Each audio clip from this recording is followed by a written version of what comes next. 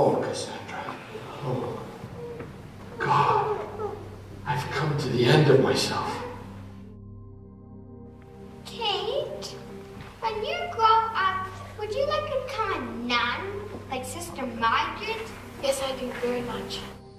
Colette, are you ready to take your vows tomorrow? When I was a little girl, I made a vow that I would one day search to find my birth mother, the man who gave this ring to my mother. We've suffered a terrible defeat at Run. Now I've made arrangements to have Priscilla and Peter and you uh, stay with my sister Augusta and friends in the outskirts of Paris until it's safe to come home. We have decided that you are to sail to the United States and assist your husband and postpone your vows Officer wounded. He's at the Washington Hospital. I must go to him at once. Absolutely not. I will go with her. My name is Colette Clayton.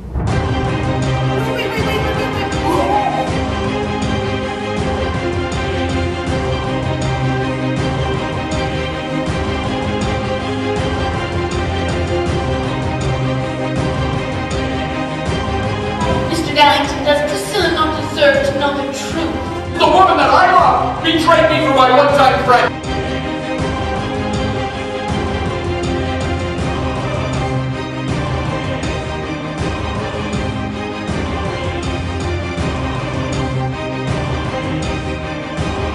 I had striven for perfection, and still I feel desperately unacceptable. Why does God allow such suffering and heartache to take place in the world? How do you know God is